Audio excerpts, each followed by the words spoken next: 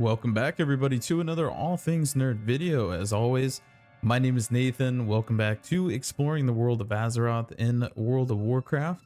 Today's adventure leads us back to the Wrath of the Lich King expansion, where we're going to be exploring the out of bounds area of Ahn'kahet, the fallen kingdom of the Nerubian Empire.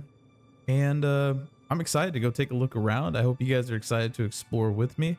There are a ton of death walls in this place, so I am doing my absolute best to um, figure out how to get out of bounds and to be able to show you guys and everyone the surrounding area and to see what exactly is hiding outside the walls of Ahn'kahet. Um, this is a really awesome looking aesthetic dungeon, so it's going to be a lot of fun to break out and to check out the surrounding area. Now, before we get out of bounds and before we do our out of bounds adventure, I got a very special commentary for you guys all today. Um, before we begin, one of my very good YouTube friends is going to be giving us some history and background of the dungeon, and uh, he's going to be telling us some lore. So I'm excited. Come and join us as we go explore the Ahn'kahet dungeon. Hey everybody, Jedi Warlock here, just dropping into Ahn'kahet alongside Nathan to give you all some insights into what we are seeing here today, as well as some of the lore of this dungeon. Ahn'kahet, also known as the Old Kingdom, is one of the core pieces of the forgotten Nerubian Empire of Azjol-Nerub. This region was first seen in Warcraft 3 during the Frozen Throne expansion, but here in Wrath of the Lich King, Blizzard really expanded on the art direction and gave us a lot of new visuals to explore. Compared to the icy, spider-infested tunnels of the Upper Kingdom, here in Ahn'kahet, we see a much more expansive zone map with the regal, towering spires of the Nerubians at its center. This was once the heart of Nerubian civilization, as evidenced by the subzone names Hall of the Conquered Kings and Fallen Temple of Ahn'kahet, giving us some clues that this area was of utmost importance to the Nerubians before their fall to the Undead Scourge. The temples and walkways you traverse throughout this dungeon were once rather opulent, but are now tainted by spiderwebs, scourge, and old god forces. The massive darkened temples on the margins of the zone could just be extra details, but the unfinished doorway in the northern part of the map could also hint they once played a much more significant role in the dungeon. But I think most of us here today are more concerned with what we can find outside of these boundaries. Looking, flying, jumping, or glitching over the edges, we start to see some amazing things. An entire underground landscape reveals itself. Glowing mushrooms and fungal vines punch through the darkness, spreading over gargantuan stalactites and stalagmites. Cold, dead lakes sit at the bottom of the world, but not far away, a river of lava extends into the depths, clashing with water and great plumes of steam. Compared to most other underground dungeons that are just passages of varying sizes, Ahn'kahet has a full map underneath, a full basement layer that is seen, but not usually reached by most players. There is one final thing I want to point out today. Everything you're seeing down here at the lowest layer of the map was once supposed to be an entire playable zone. Azjol-Nerub was planned to be the first subterranean zone in WoW, all the way back in 2008, but Blizzard didn't quite have the time or technology to make it work with the rest of Northrend, so they condensed it into two five-person dungeons that we know today. In The War Within, the new zone Azj-Kahet actually comes close to replicating this environment, 15 years after the original plan. Though it didn't quite work out how Blizzard might have intended, this underworld gives us a glimpse into what could have been in Wrath of the Lich King all those years ago, and hopefully in this video, you're able to witness some of these buried details. That'll do it for me here today. Thanks for having me, and with that, I'll pass it back to Nathan. Uh, for right now, I'm going to be showing you guys how to how, how I actually break out of this dungeon. And uh, there's actually a credit that goes to an ATN uh, community member. Um, I will put that in the comment section below and I'll give them credit for the out of bounds of the dungeon because they were the first ones to break out in the community and I'm going to be showing you how I get out. I don't know how they got out, but uh, right here, I'm actually at the entrance over here by the Hall of the Conquered Kings, right here in the beginning of the dungeon. You can actually just turn around and jump right outside the map here. Uh, if I can land it, yep, we just want to get right on top of here. Oops, I fell. Let's do that one more time. Get on top of here, and then basically you're already out of the dungeon, which is really awesome. Um, now, this dungeon's going to be a little tricky to explore because there is a ton of death walls and I mean a ton of death walls and I have not found an exactly really good escape yet out of the dungeon. So I'm still looking and playing around with things but if we fly through this way over here we can actually fly through the caverns here because they're all actually just a part of the map and they're just like a big smoke and mirror effect uh, with the outside and one of the things I really want to get to of this map out of bounds is uh, to go explore the surrounding basement area. Um, if I can get down there. If I can't get down there, we're going to have to just uh, listen from above and just got to uh, take our time with doing some of the commentary here. But it's this is definitely not an easy dungeon. Now, what we're going to do is we're going to drink a stinky bright potion that we normally do so that we can light up this surrounding dungeon around us and get a better view of what's actually here. Now, as Jedi had mentioned, um, this is the part of the Nerubian Fallen Kingdom that uh, was supposed to be a lot bigger than it is. But uh, Blizzard had actually scrapped a ton of it. Um, and we were actually going to see this kingdom play out a lot more in the Wrath expansion, but unfortunately, it looks like they ran out of time. Now, one of the things I really want to get to is I want to get to this structure over here to go explore that out of bounds and see what's actually there. This is the main dungeon right here that we can get out of. But uh, if I fly anywhere out this way or that way, I die. So I'm having a little bit of a difficult time with this one. Um, but we're just going to take a look around and see what we can explore outside the map here. So let's actually go take a look around the backside. And let's go see the interesting things that this dungeon has to offer.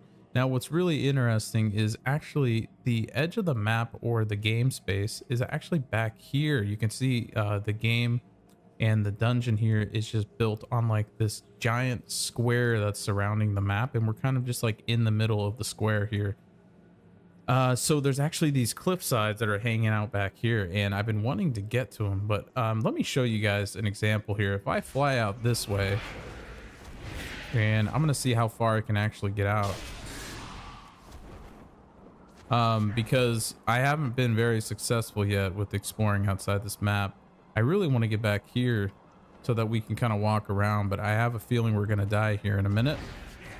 And uh, sadly, I think if we can just get past the death walls over here, I think we could do okay, but nope, I lied. so there you have it. So that is what I'm talking about. Anywhere you fly around this map, you basically are going to end up dying. So I think what we're going to have to do is we're going to get out as far as we can flying outside the map with our out of bounds tactics that we usually use, right? With gliding and doing Fel Rushes and doing a um, vengeful retreat as well. And uh, we're just going to have to talk about the surrounding area. So like I was mentioning before, you can already see the out of bounds game space right in the back here. You can see kind of a lot of undeveloped land back here that's just holding the backside of the dungeon. So Blizzard does do a great job at um, making it alive and known with how the dungeon is set up with the spoken mirror effect that they do of the uh, statues and making it look so real of the old kingdom. And they do a great job of making it look like you're actually in the caverns below here under uh, Northrend so it's really great to see all this out of bounds here but I do love that they do kind of keep this in the back here so you can already see that uh, the places that you're never supposed to see to begin with, right? that the developers never intended you to see. And uh, it's really awesome to see how they work with this game space. And uh, I'm going to be showing you another place where I actually get out of bounds, and it's going to be up here by Elder Nadox. After you kill him, you can go up here into this little area way up above here.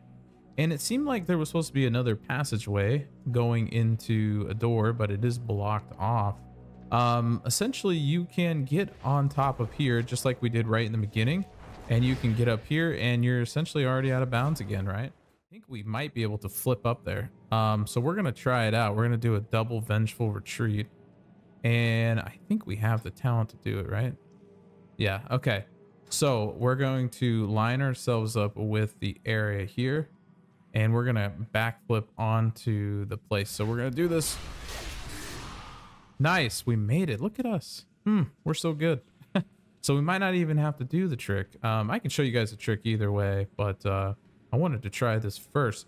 So like I was telling you before, this map is a little tricky to explore. It's not easy in the sense at all because uh, Blizzard has really protected the map really well. There we go. Okay, so this is where I actually wanted to get to. Perfect. So you can see that you can actually walk inside the architecture here and the building, which is really awesome. Don't go too far out because you'll go back inbound to the map. And where I want to get to is over there. I want to go explore that area and see if we can at least go check it out. Um, that's okay. So you just fall through that. Um, so what we're going to do is we're going to head down here. And we're going to see if we can go Vengeful Retreat over there. And I think we can make it. I think. What well, we might not be up high. I wanted to get up here, honestly, but I don't know if I can get up there. It looks like you just fall through the map or fall through the structure.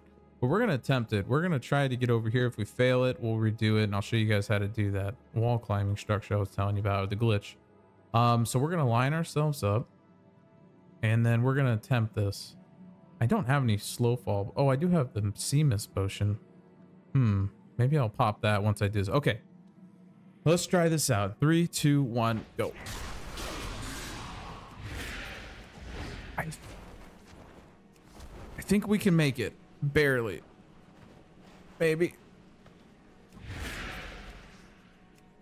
Ah.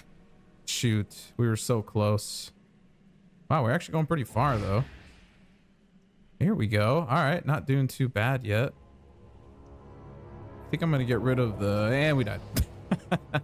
well, we were close to the structure, so maybe you can't actually get on top of the structure anyways. I guess you just fall directly through it. Well, that's sad. A lot of these structures are just for looks and not actually to walk upon. They're not stable, I guess you could say. Or um, you can't actually walk on them, but you do get this awesome view of the lava and everything below. And you can kind of see the how the structures are made in the back here. So it's definitely going to be a different video, guys. I'm sorry. Um, I know this is not easy to do with out of bounds, so I do apologize. But maybe someone already knows how to escape this map a lot easier than I do. And I would love to learn. So if you have that, let me know. All right, I'll be right back. All right, guys, we're back again. And I wanted to give you this awesome shot of under the last boss room for Herald. It's pretty awesome to see under the floor here, and you can see where I broke out of right over there with my seesaw. I was able to make myself big and to fly under the floor. Uh, this is one of the one of the places you can actually break down on the floor here and check things out. And I haven't died yet, fingers crossed, because I think once you go below or out of the map completely, like dropping off the ledge over here, then you'll die.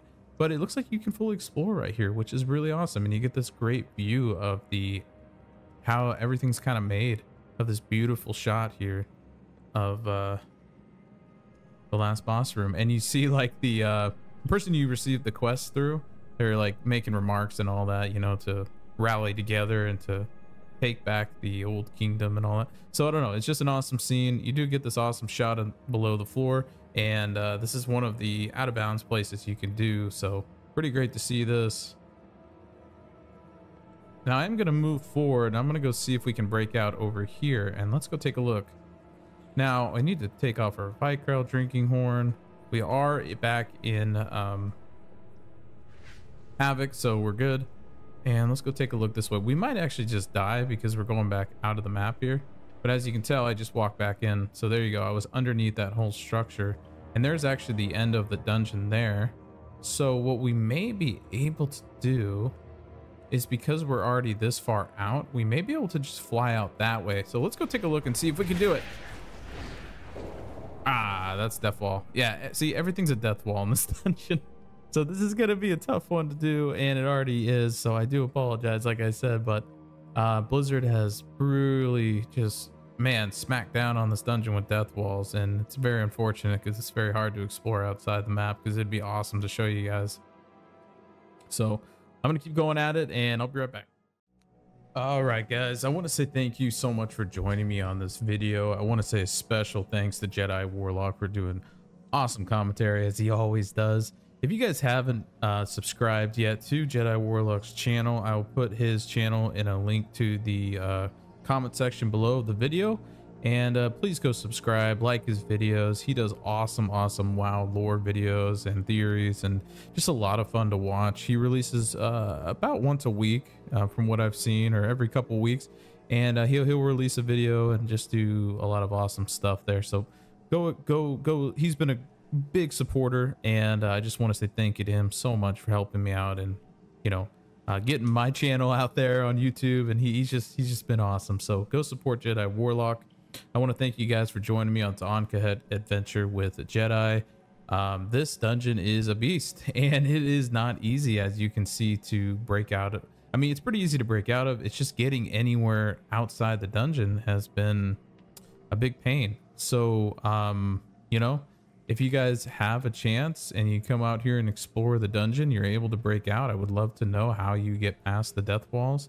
But there is just death everywhere, all around the outside of the dungeon. Blizzard definitely uh, Demon Hunter out of bounds proof this place, I guess you could say. And uh, they really did not make it easy to explore. So, but anyways, guys, as always, my name is Nathan. I want to say thank you for joining me in this out of bounds adventure. I will catch you on the next one. Take care.